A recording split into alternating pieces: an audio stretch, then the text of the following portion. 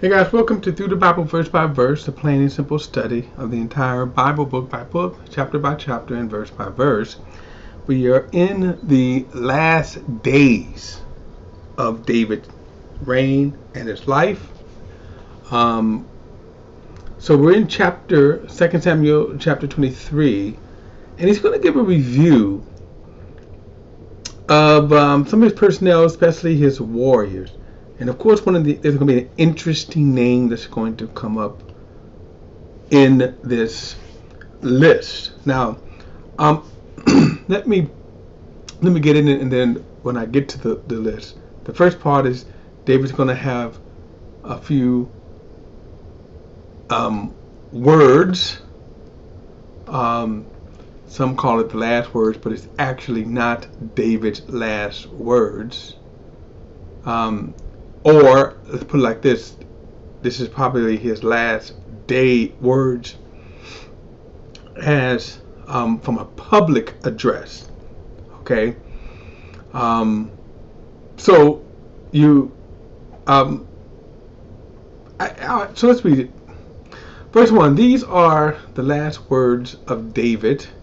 Now again, um, it's kind of hard to how to interpret this only because in the very next chapter, we're going to see David. They're actually not David's last words, so they're not the last words of his life. You know, in other words, his last words, and then, you know, like for example, the book of Deuteronomy, or Moses' last words. they're literally the the the last day of his life, and then the last words, which take a few hours, and then when he is done, when we get to the end of the book of Deuteronomy, literally he closes off walks up in the mountain, no one ever sees him again in his life. Now, so when it says here, these are the last words of David, it's not the last words in that respect, because we're going to see that uh, even in the next chapter, there's going to be plenty of his words. They're not even the last, we're not even on his deathbed, okay? Uh, so I, am not just understanding the, the phrase other than is it the last words as a writing, now his writing, as he's writing, okay? Anyway, these are the last words of David. The declaration of David, the son of Jesse, the declaration of the man of the man raised on high, the one anointed by the God of Jacob, the favorite singer of Israel. Now, you note the title here, the God of Jacob. That's going to be important, especially because of the lineage of David. Remember, Jesus will come through this lineage. And then there are some prophetic fulfillments for the lineage of David. Um, verse 2 The Spirit of the Lord spoke through me, His words was on my tongue. The God of Israel spoke. The rock of Israel said to me, The one who rules the people with justice, who rules in the fear of God, is like the morning light when he when the sun rises on a cloudless morning, the glistening of rain and spouting of grass. Is it not true my house is with God? For he hath established an everlasting covenant with me, ordered and secured in every detail.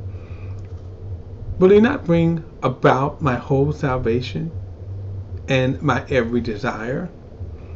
But all the wicked are like thorns raked aside, and they can never be picked up by hand. The man who touches them must be harmed with iron and a shaft of the spear. But and that they were completely burned up on the spot. All right. So um, again, how do we define the term last words here? Because as we will see, these will not be the actual last words of David. In fact, you're going to see many words after this. Okay, but anyway, now, um, verse 8. Now, these are the names of David's warriors. Now, he's going to list these guys, and um, there are a list of what's called David's 30 mighty men. Um, in order to even make this list, you just you had to be not only the best of the best, but add that a few times more, right? Best of the best of the best of the best. So in order to even make this list, and, and here's the thing, you could have been a good soldier, a good warrior. David had many, but in, in order to make this list, you've had to have some pretty impressive exploits. Um, so, and, and you're going to see that language in here that these these were some bad dudes. David himself was one, of, of course, one of the best lawyer. I mean, warriors. Um, one, he killed Goliath. Two, um, a lion and a bear. Um, so God used him mightily. So, like I said, in order to even make this list, you know, you you have to have been able to say, here are some pretty impressive credentials that I can list here. Not just, uh, and it's not even what we can say. It's not even. Um, um, they call it legacy. In other words, for example, Absalom was pretty and he was okay as far as you you could say this is an everyday guy, but he can never make this list. Now, like I say, at the very end, I'm going to show you where I, I mentioned this before, but at the very end, at the, they're going to be very interesting name that's going to come up. But anyway, these are the names of David warriors. Jessa Bas, uh, Basabeth, uh, the Tam Shemite, uh, the, the, the Ta Shemanite, was chief of the offers. So again, let me just say this. Going to butcher these names, no matter how I try to practice pronunciation, I get tongue tied now. So anyway, forgive the butchering of the names here.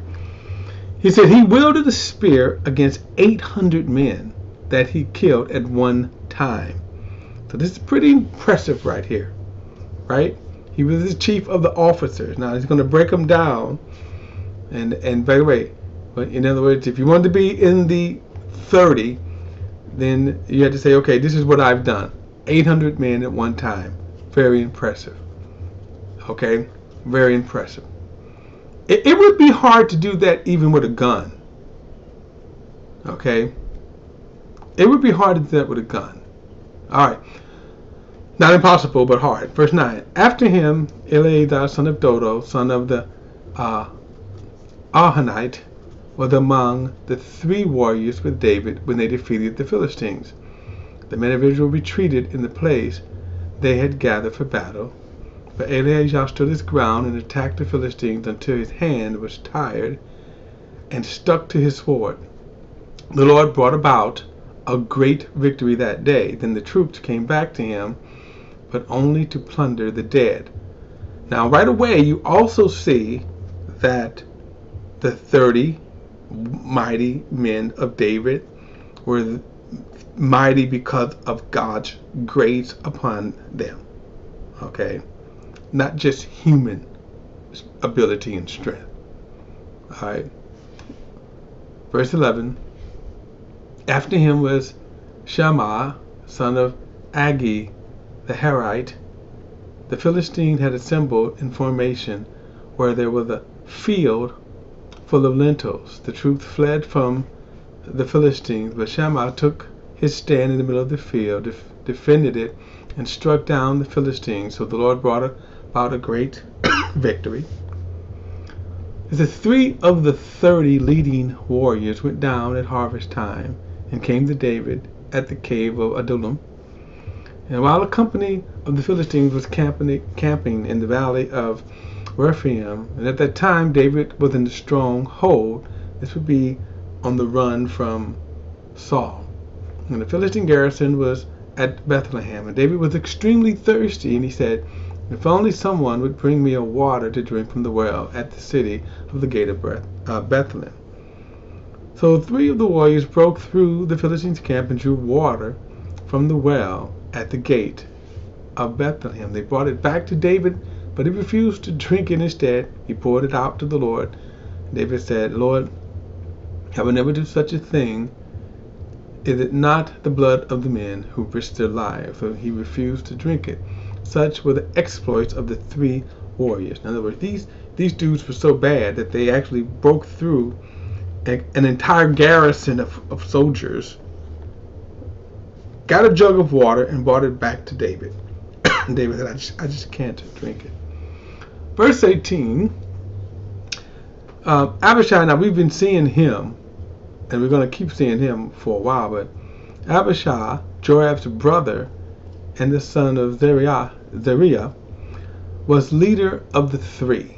He raised his spears against 300 men and killed them, gaining a reputation among the three. Was he not more honorable than the three? He became their commander, even though he did not become one of the three. Now we know that Abishai, again, dude was great. Now watch this. So Benaniah, son of uh, was the son of a brave man from Kabzeel, a man of many exploits. Ben- Benaniah killed two sons of Ariel of Moab, and he went down into a pit on a snowy day and killed a lion. He also killed an Egyptian, a huge man, even though the Egyptian had a spear in his hand. Benaniah went down uh, to him with the club, snatched the spear out of the Egyptian's hand, and then killed him with his own spear. These were the exploits of Benaniah, son of Jehoiada, Jehoiada, and then who had a reputation among the three warriors. He was most honored of the thirty, but he did not become one of the three. David put him in charge of his bodyguards. Among the thirty were Joab's brother Asahel. Asael. Now remember, he was killed by uh, Abner.